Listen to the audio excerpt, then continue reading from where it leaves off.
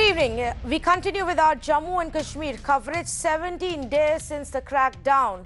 Today, postpaid mobile services were finally restored in the valley. Finally, relatives will be able to reach their loved ones who are living in Kashmir, who had been living effectively in a communication black hole for over two months. That's since the center abrogated the state's special status on August 5th. Now, here is what the situation looks like on day 70 of the clampdown. Mobile postpaid services have been restored, but if you are somebody who uses prepaid in the valley, you still can't access any kind of telecom service. Internet is still blocked in the valley, so that shut down for internet still continues 70 days on. Landline services are functional. There is very thin attendance in schools even now, even, even though schools have been now functional for over several weeks. Emergency services are obviously functional. Even though the state has been opened up for tourism just now, obviously right now nobody has reached the valley as a tourist. Shops do open but remain largely closed through the day. Public transport is not working. Top political leaders are still in detention. But we actually were finally able to make a simple call to our correspondent, uh, Srinagar Bureau Chief, Mir Farid. And that itself was a bit of a relief for us. And in fact, Farid is joining us right now, live. Farid, uh, so good to be able to speak with you. What's the latest you've got for us from Srinagar?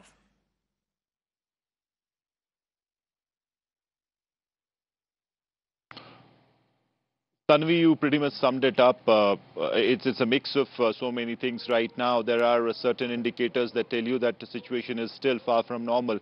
And then there are certain steps like uh, this uh, big step of uh, restarting uh, mobile uh, telephones, mo- mobile connections, at least postpaid is concerned, but it has come as a big relief for the people of the Kashmir Valley. Uh, needless to, to say that's no luxury, no more a luxury. It is a necessity in our day and age, and probably it's only Kashmir which can take uh, two and a half months of uh, complete disconnection of a complete blackout as far as communication is concerned.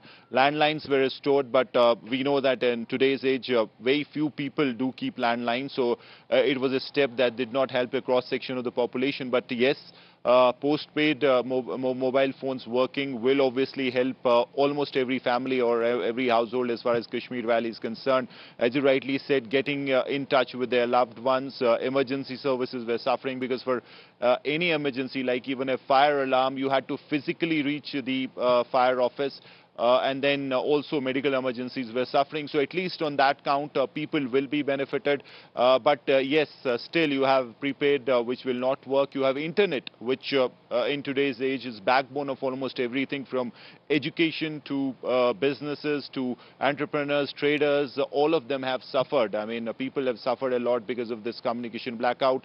Uh, questions at the government as to why it uh, took them so long to restore uh, uh, the, the- these phones, uh, mobile phones, because indicators, uh, the ground indicators would tell you that from day one itself, probably there was a preconceived script as far as the government is concerned that for these many days, whatever happens on the ground, they are not going to budge from whatever they have planned for Kashmir. And probably there was absolutely zero flexibility as they went on because on the ground there was no violence, people cooperated, and still it took them two and a half months to uh, really restore uh, po- postpaid telephones, or should I say postpaid uh, mobile connections, which obviously is a big question mark on uh, wh- wh- what really went wrong and why it uh, took so long. So now uh, the next step could be internet, and obviously that is something that the people are waiting for. And prepaid, yes, that is also important.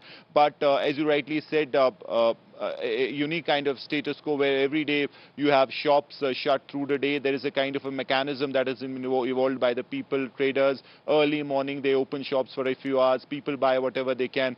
Then through the day they're shut. In the evening they open again.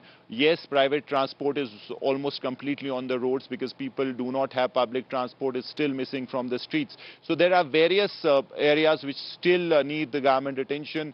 They need to do more, and uh, probably till those things uh, really don't don't happen, shops don't open. We are still far away from complete normalcy. Education, again, as you rightly said, very thin attendance because Okay. this was one factor. Parents had absolutely no communication lines to check on the well-being of uh, their kids. So obviously, if you're a parent, uh, you would prefer him to stay safe at home rather than risk him going to the schools with absolutely no way to check up uh, on him.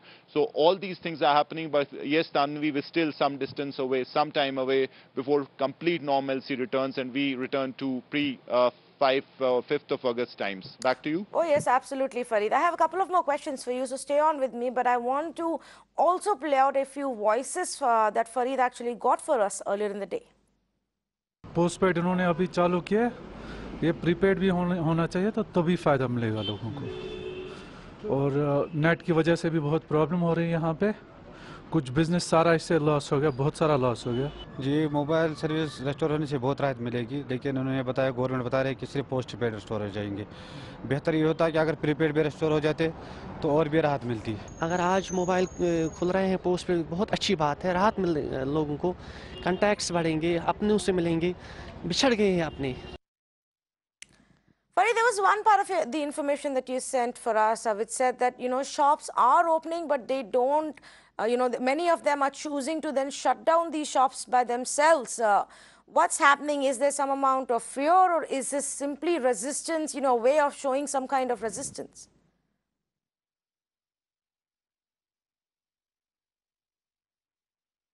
Uh, well, it seems that it is a way of uh, showing some kind of resistance because uh, people feel that uh, the way uh, things happened uh, on the 5th of August was something that could have been done in a better way, in a, in a way where you would have some kind of a consensus or at least people should have known about it. But the way it was done, so probably people still feel very hurt about it and that's why you'll see this spontaneous kind of a shutdown. It's not being backed by anyone. There is no one leading this. It's just that people are doing it on their own. Though uh, I would add that as far as uh, traffic is concerned, uh, if we can take it as an indicator of normalcy, people are coming out in their personal private vehicles and we could see a lot of rush, traffic jams in Srinagar today being a Monday.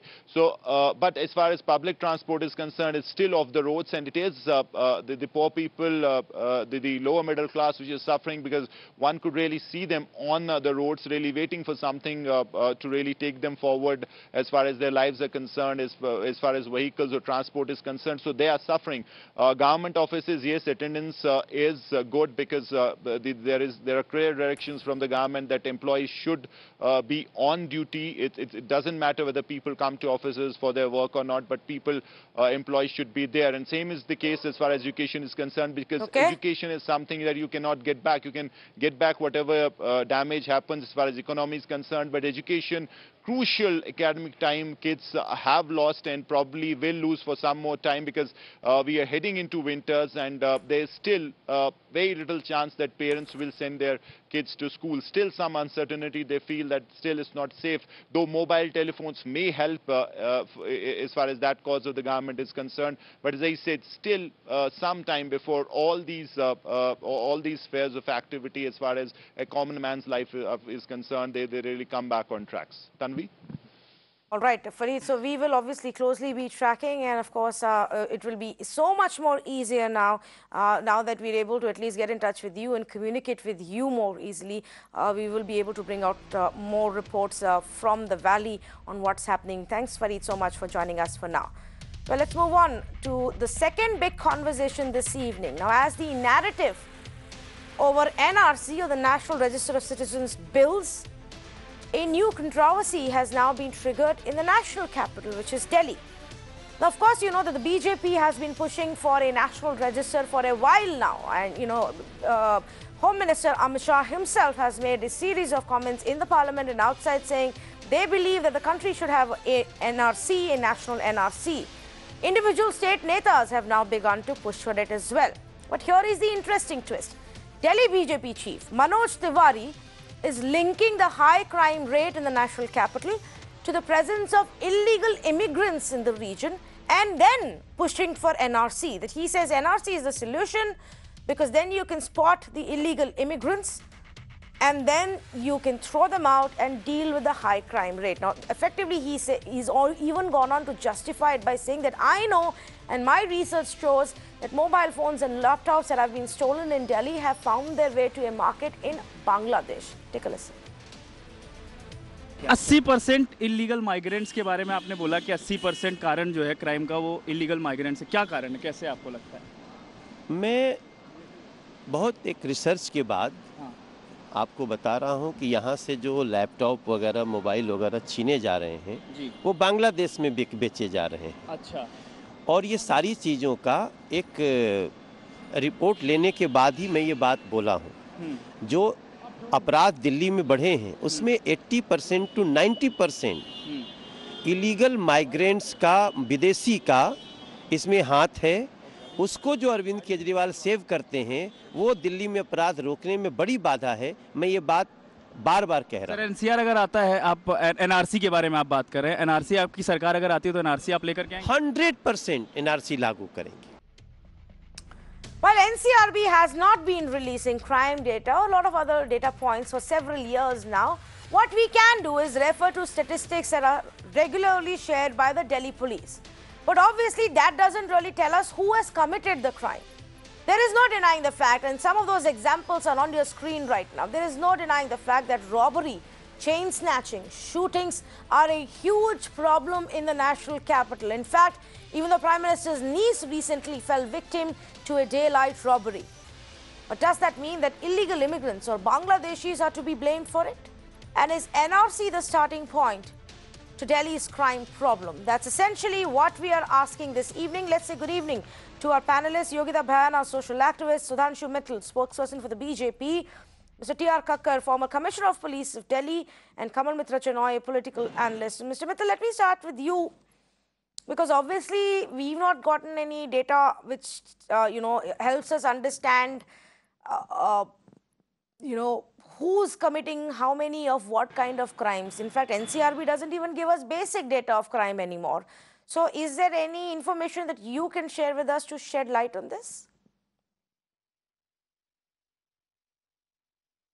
I'm very happy that on your panel you have Mr. T.R. Kakkar here, who's been the former commissioner of police and who's very well versed with the, the crime situation in Delhi.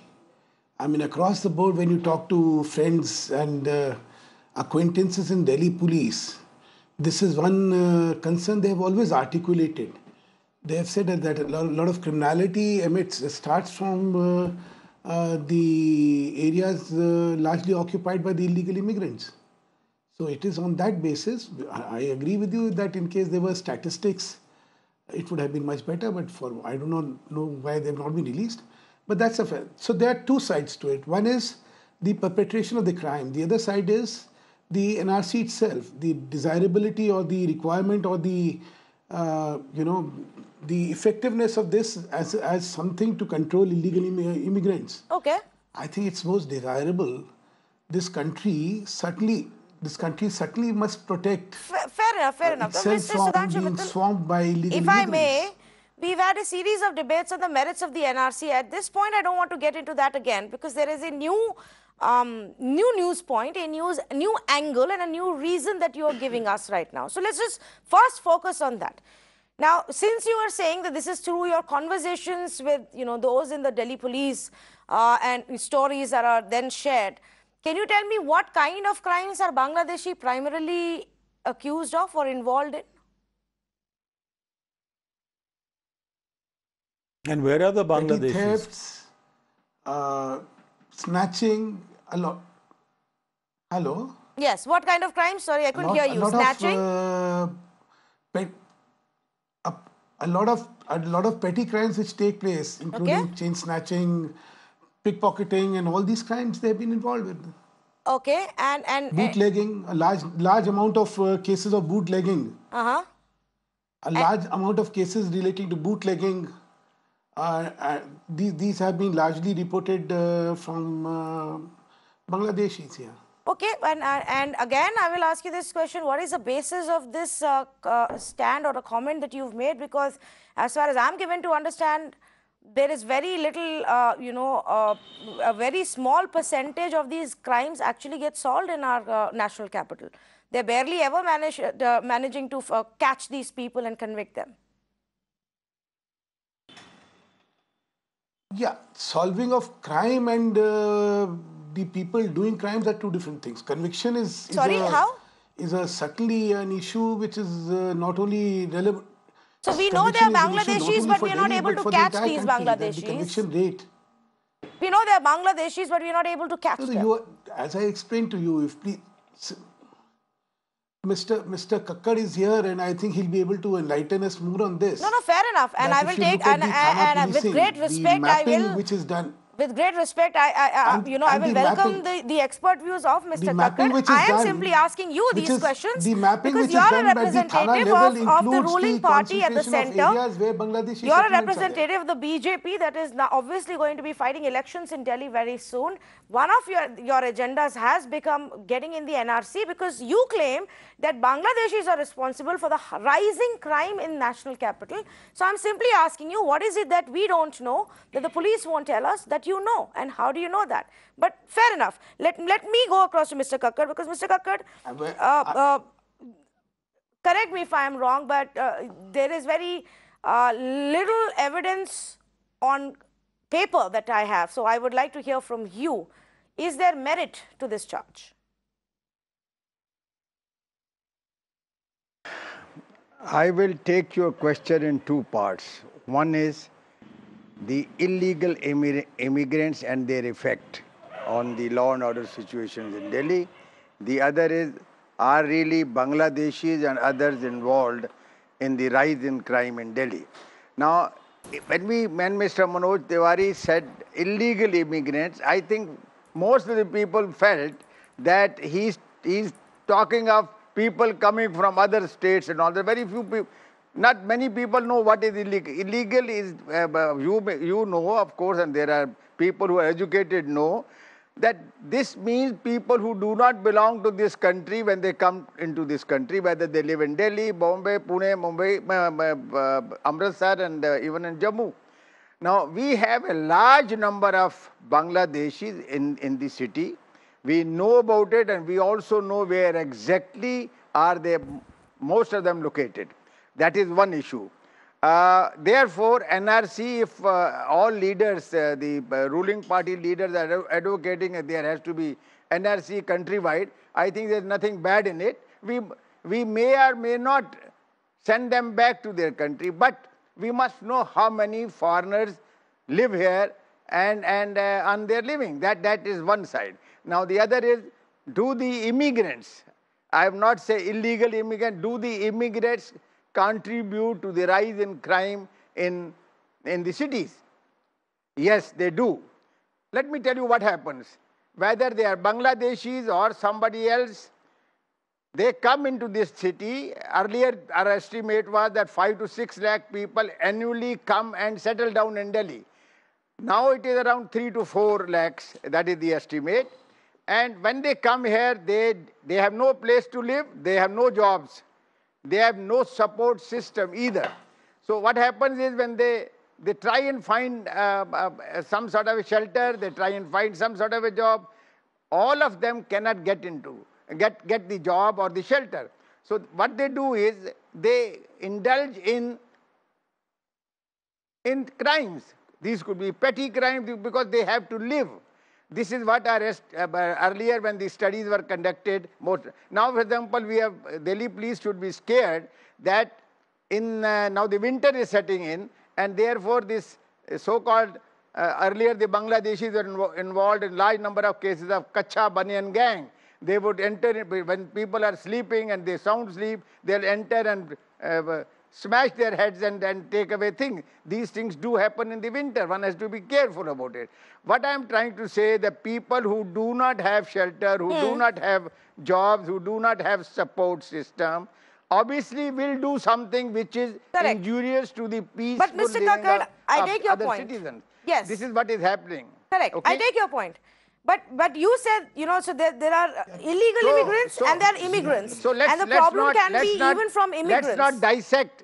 no, no, but here is my question Let's, then. let's not Here is my question. Let's if these are legal immigrants, this- Mr. Kakkar, the Yes, state yes, has all the power in the be- world you to know, pick these people again, up, to track them look, down look, and I throw them out of our country. Give me, give me a minute. Yes. Give me a minute. Please do. I Please will. I will clear, I will clear your this doubt also.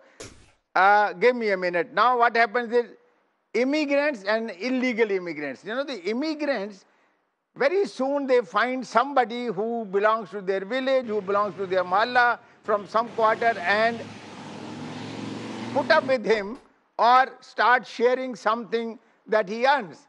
While the illegal immigrants are scared, all the time scared, and therefore, first they don't get uh, a, a roof on their head, they, they don't get a roof on their head, they don't get jobs because some, most of the people are scared of employing the Ill, illegal immigrants because they have to report to the police and they have to, uh, there are a lot of forms to be filled up, etc., etc.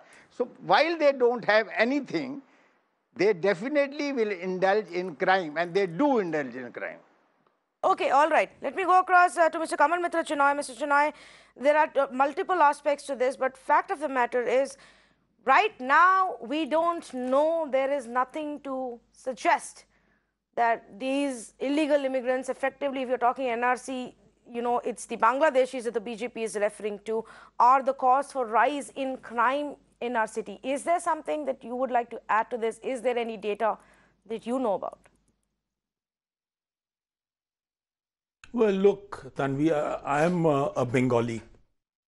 Uh, I understand Bengali. Most of the time, when I move in various areas, including Hearts, uh, Chandni Chowk, other big uh, uh, marketing places, I don't hear uh, very much Bengali. In fact, there's much more Punjabi, Haryanvi, etc., etc. So this, yes, there uh, can be illegal immigration, but it need not be Bangladeshi.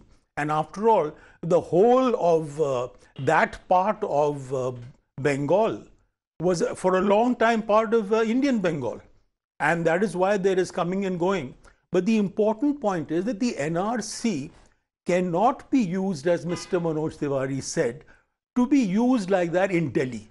Because you have to have a larger scale in which you can uh, deal with it. And as Mr. Kakkar has pointed out, and as a police officer, he would know, there are different types of criminal or other activities by immigrants. They need not to be illegal, some will be. And these people are not able to make the kind of shelter and jobs and so forth that they like. And that is why you have that particular problem. Hmm. But the way of solving a problem is creating better space and better facilities and not uh, damning people as belonging to a particular community and as a threat to the Indian nation. I don't think that is uh, there. And if you see Ranjan Gogoi and other people's discussion on the NRC, he after all is uh, himself an Assamese, there is no real discussion of any severe amount of immigration. So I think this is overstated. And of course, though uh, I agree with Sudhanshu, yes, there should be uh, more surveys. There can be more discussion. There can be ways to resort to uh, things where there is poor facilities from water to huts to roads. That should be fixed so that people do not suffer and uh, events that are not necessary but, take place. But, but, but I that... don't think we should overstate this problem. Okay, Mr. Sudhanshu Mittal, respond to that before I go to Yogita Bhayana.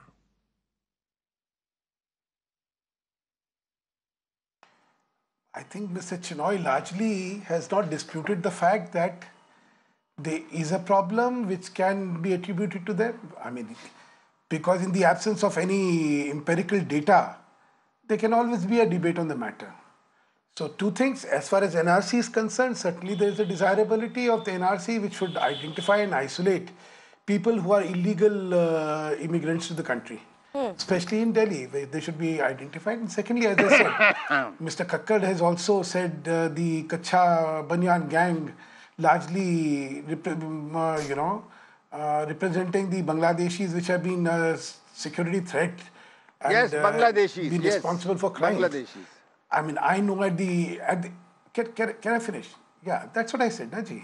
तो इसीलिए कह रहा हूँ because at at a police station level I have seen the way it operates and in terms of the mapping of the area there is specific mapping of the illegal immigrants which are settled in that particular area and a special vigil is kept on them because there is uh, historically it has been observed by the police that there a large number of criminality has emitted from these areas so that's a reality and it is basis of this reality that this kind of a statement has been made or a demand of this kind has been made because certainly Delhi needs to check its uh, crime records. B. Delhi needs to check illegal immigrants which are now settling in India and more, more uh, they're settling in Delhi. And it's a it's a it's a it's a comment or it's an observation and it's a demand based on reasonability and experience. Okay, Yogita Bhayana, what, what is your view? Is there a problem? You know, there is a large population that cannot be denied. They live in these ghettos. Uh, re, uh, there have been at least two instances that I recount, including one very recently where a massive face-off happened between, you know, uh, residents of, uh, of one society and the Bangladeshis who were working in that area. So there is a problem. Is NRC the solution?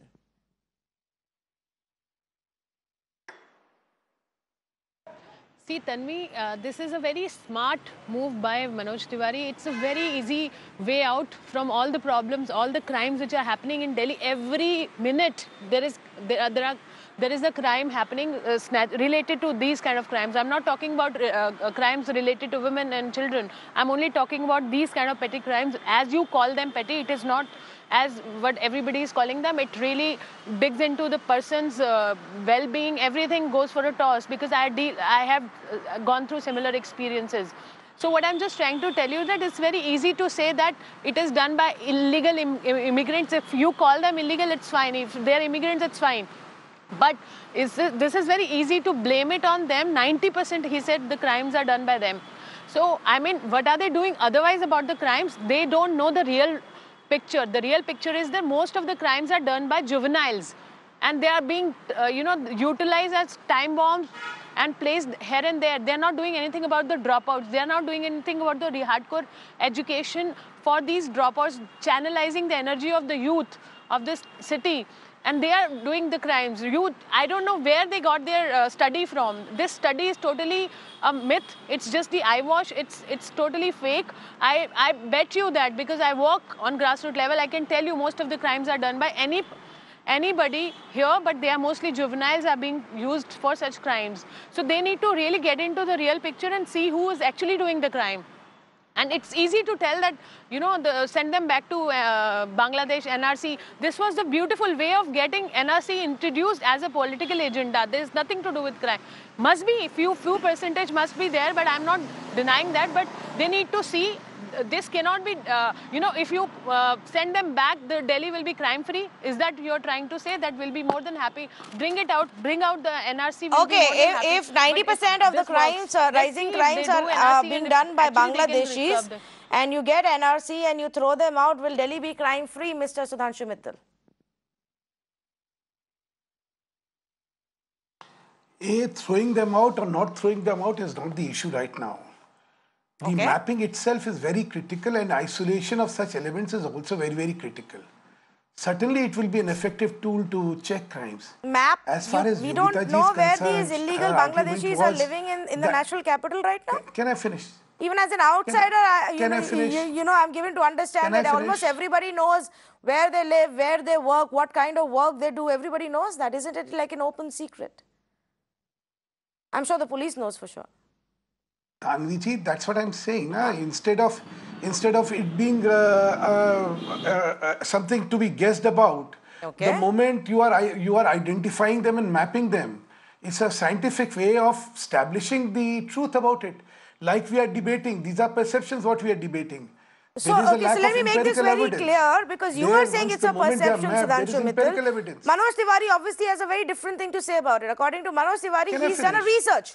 He says he's done a research. He very well knows that the, the uh, well, mobile phones and the I'm laptops sure that are stolen in the national capital are sold in Bangladeshi markets. So he has some facts that he's very sure of. 90% according to him. That 90% of the crime that are happening in Delhi is happening by Bangladeshis. Mr. Kakkar, I don't that know must be. if Manoj Tiwari has shared this information with Delhi police, but is that is that something I, that you know police is also aware of?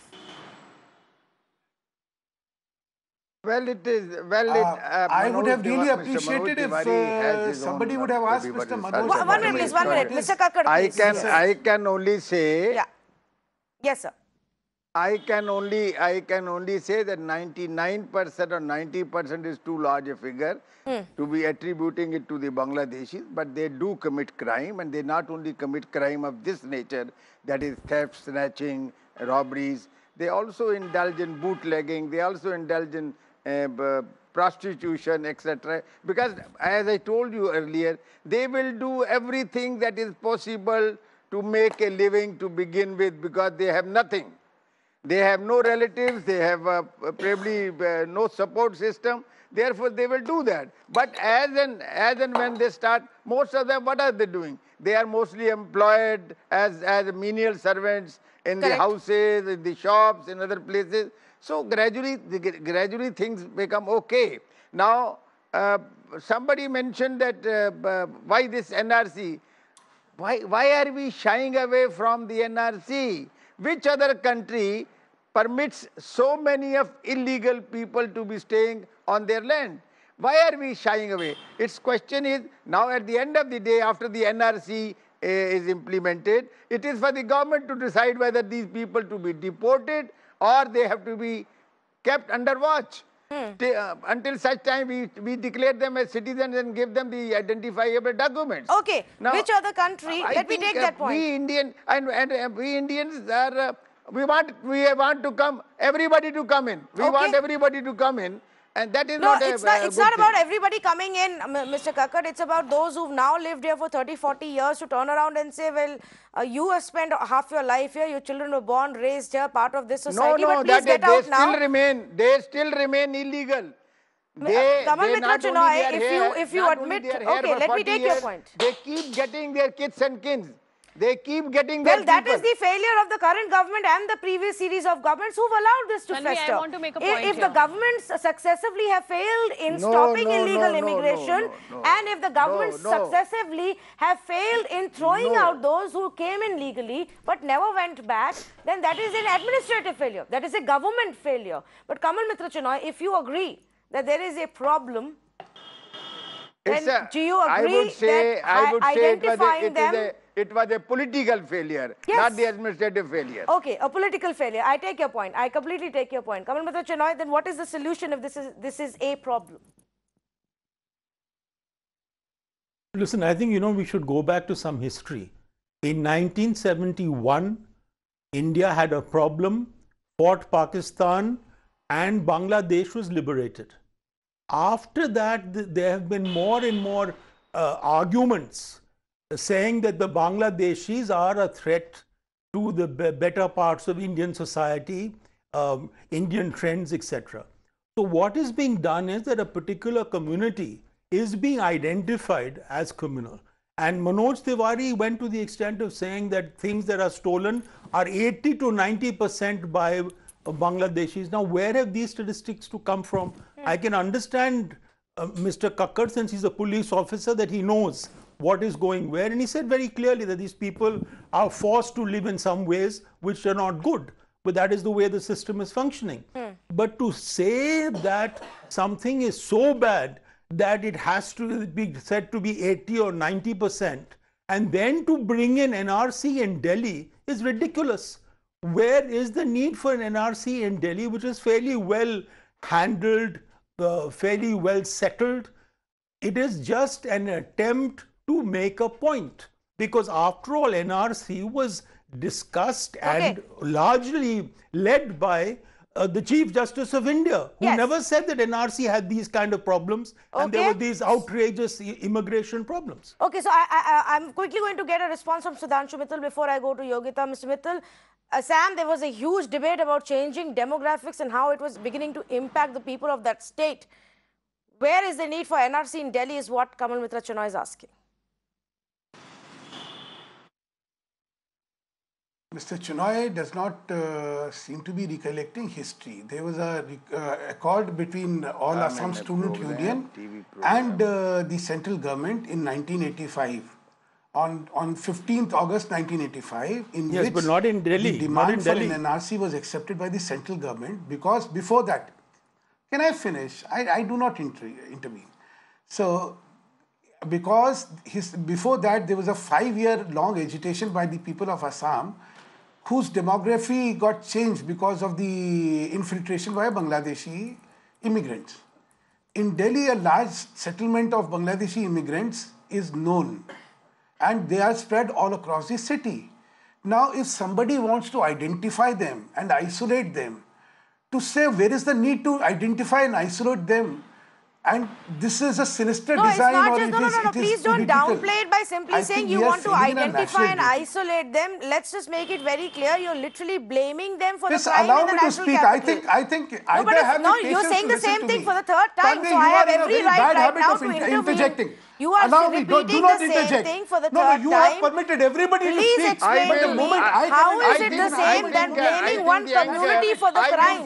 You are putting the fear in the minds of people that these Bangladeshis are responsible for your crime rate. This is ridiculous. What the hell is this? Getting into my country illegally is a crime is a crime. So one minute, please. One minute. Is a crime. Sudhanshu I know it is a don't, crime. Sudhanshu, you, you, you don't need to derail unnecessarily. I have been extremely patient. You are repeating the same thing for the third time. I have every right to intervene. Now, don't do theatrics unnecessarily. This is not one of those channels where you sit and do theatrics the in a debate. Let's have a constructive conversation. A, My point to you is, is you are simply putting this in the minds of people that these this community is responsible for rising crime in your city. You have admitted it's only it's only only information or view based on something that people have said, there are no official statistics, there is no research done, then why are you putting the fear of a community in the minds of other people? Do you realize what you're doing? It's not simply saying let's identify and isolate. You are telling the people of this country beware. ये चोर है ये डाकू है इनकी वजह से चोरी चकारी मर्डर हो रहा है तुम्हारे शहर में निकालो इनको बाहर बिना किसी एविडेंस के बिना किसी रिसर्च के आप ये कमेंट कैसे मार सकते हैं what is is the evidence required What do you mean? What is the evidence required? How many Bangladeshis have you caught? How many illegal Bangladeshis have you caught in any of these crimes? Inciting violence. You can stand and make any comment. individual. When you say what that kind of irresponsible behavior is you are the one. Are you a Maro gang? What kind of a person are you? You are an irresponsible uh, anchor. You are inciting violence. You should be ashamed of yourself. When did uh, Mr. Manoj Tiwari say, Maro inko? Don't lie on television. Are you? You should be ashamed of yourself. Here is what, what is, I said. Let me repeat it for you since you, you don't have the habit of listening. You're more interested in how yelling. Can how can now, you use this word? Now, now keep I, quiet and listen to me. Here is what I am trying to explain to you. You don't you don't have any information. No, no. Can we please get Mr. Sudhanshu Mittal back? He needs to listen to what I'm saying right now. Mr. Sudhanshu Mittal, you don't know. You have no statistics. You have no information. And your party is sitting and making large comments and grand comments about Bangladeshis and illegal immigrants. Based on what information? So where is the statistic? As and when required, I treat them as criminals. Nobody can stop me. Where is the statistic? How many Bangladeshis have been caught? When a decision is taken. Nobody so said don't, that. Don't tell me. Don't start accommodating everybody. You people, you people do not, do not realize. You are, you, you are people do not realize. Mr. Please. Now how this country has got affected you because of these now people. provoking violence. And you should apologize here. Mr. Sudhanshu, you have a problem with hearing. You don't listen to people because maybe that's how that's how you your party is it. Please listen to what I have said. Go back and listen to what I have said. Nobody here is sitting and supporting illegal immigrants. And I want to make this very clear to Mr. Kakkar also. Go, go, Nobody here is sitting and supporting illegal immigrants. The point is very clear. Before anybody makes this a political agenda, a poll agenda, you are putting that mind, that thought in people's no, minds. No, no, you are Why putting are that thought in people's minds. Sudhanshu Mittal, you are putting that thought in people's mind by identifying one community and blaming it for the failures of your Delhi police. By blaming, by blaming Bangladeshis for the failures of your Delhi police. Completely out of time, so I'm going to thank all of our panelists for joining us on this conversation. Here is the point. You have heard the BJP spokesperson say three times on this debate that there is no actual official statistic or data available to suggest that the rising crime in the national capital is because of Bangladeshis or the illegal immigrants. Yes, they exist. Yes, some of them have been linked to crimes. Yes, there is a problem because they are not registered anywhere. They barely get jobs. They live in ghettos.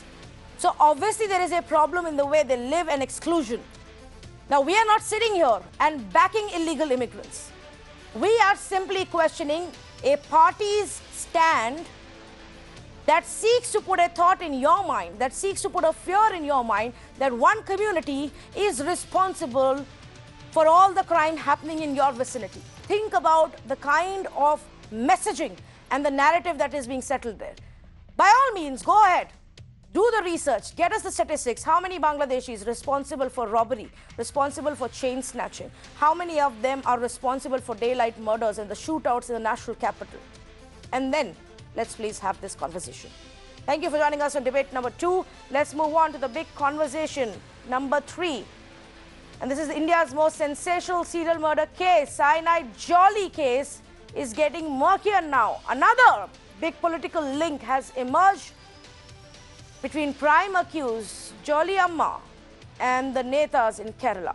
Crime branch raided the residence and shops of senior Muslim League leader BK Imbichi Moi after the probe team found that the leader had allegedly helped Jolly Joseph prepare a fake title deed. Now, we are given to understand this from the police that this man helped her with these fake documents so that she could inherit it, inherit the properties of her husband.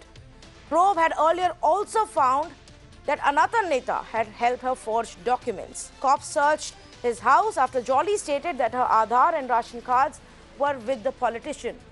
Remember earlier it was a CPI local committee secretary who was found to have allegedly forged documents in favor of Jolly Amma.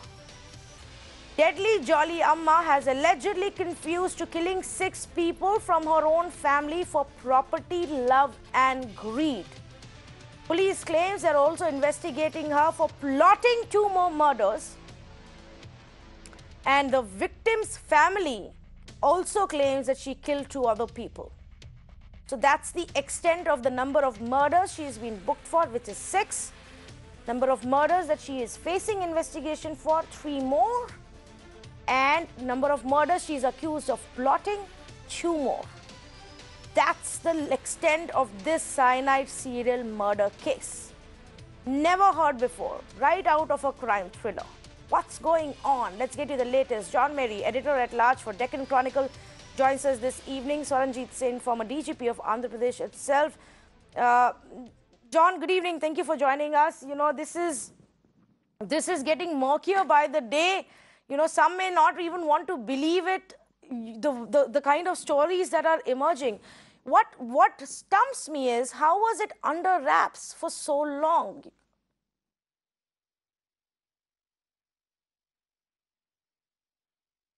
See, the classical question is someone wants to murder someone, someone wants to assassinate someone. Is it possible? You've seen that, you know, prime ministers and presidents have been assassinated despite all foolproof security system. I think uh, in this particular case, hindsight wisdom would tell us that, you know, the police should have done this, the law enforcing agency should have done this, the revenue authority should have done this. But when something, a crime breaks out like this, nobody suspects it is a crime. Six deaths have taken place, and now we say, characterize them as murders. But from, the, from 2002 to, to, to, to as far as now, say 14 years later, you've got about six, six deaths took place. And now you've classified them as six murders. And um, what is the system that we have? We have about so much of traffic accidents some of them could be murders, we don't know. How do we inquire into that unless you get a suspicion, a plausible enough case of suspicion?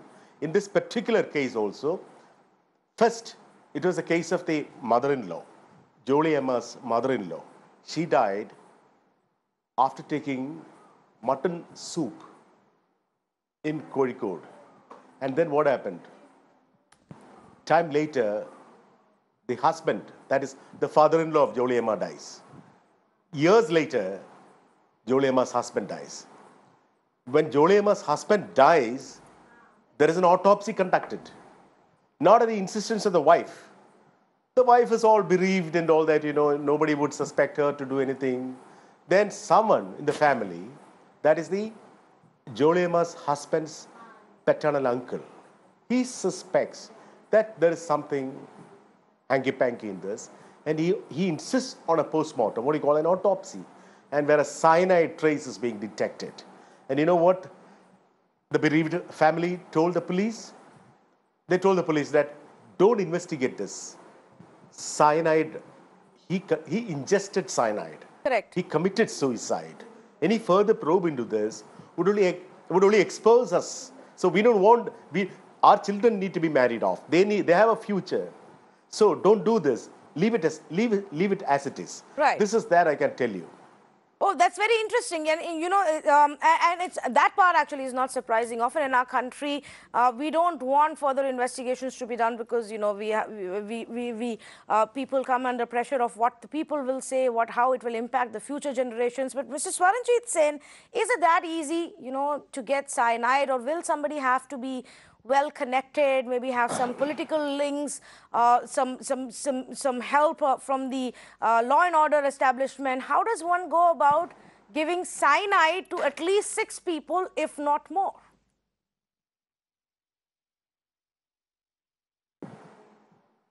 Well, what you're saying is really amazing. And of course, the entire situation is shocking. Is cyanide that easily available?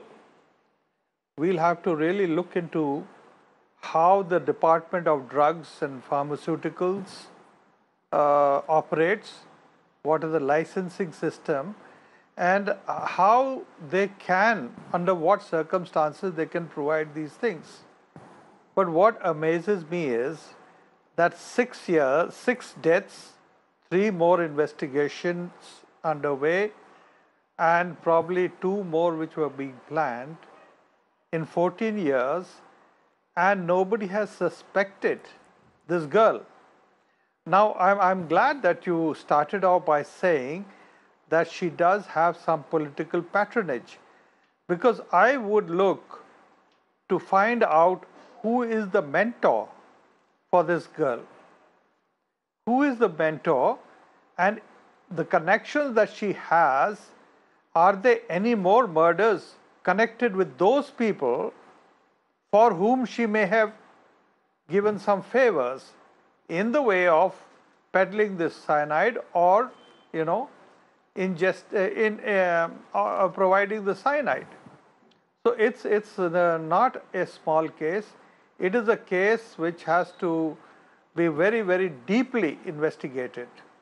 And now what the other gentleman was saying about the autopsy saying the use of cyanide, the point is unless the police was really sure that it was self-ingested, for which there should be some kind of you know symptom, uh, uh, the evidence on the body.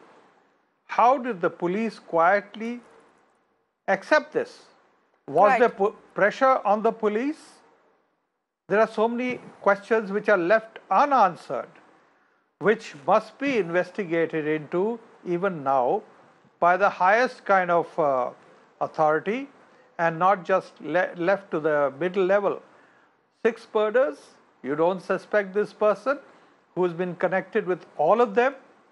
I mean, uh, how does uh, You know, and, I, and, I and, would and the way more and more are tumbling police out. had better wisdom Day one, we were shocked, extremely shocked, Mr. Sen, when the story came out. And then they Now- said there were six, she's been booked for Yes. six murders over Yes. 14 years. And on day two, the police came out and said, well, two more murders that she allegedly plotted, we are investigating. She was perhaps going to kill two more people. Now, and then on day four, we were told that, well, the family of one of the victims has said that there were two other deaths in the family. One, at that point, they thought was an accident. The second one they thought was a suicide. They, they now suspected that she had killed them a serial killer, a woman, a housewife, allegedly went about wiping off two full families over a period of 14 years. Allegedly, as per the police case right now. And nobody realized for 14 long years that obviously there was some help involved. There was obviously something wrong with this entire law and order scrutiny system. How was cyanide so easily available? Who was helping her with all of this cyanide? Did her political connections and those that she was linked to politically know about this? Were they also giving her some kind of protection? Those are the answers that we are now looking for. It's a sensational case. And let's not forget, is this an easy way out for the local police to start blaming her for murders or for deaths which may not even have been linked to her to begin with. Think about it. We'll continue to keep a track and get you the latest on this big story. For now, it's a wrap on Urban Debate at 8 p.m.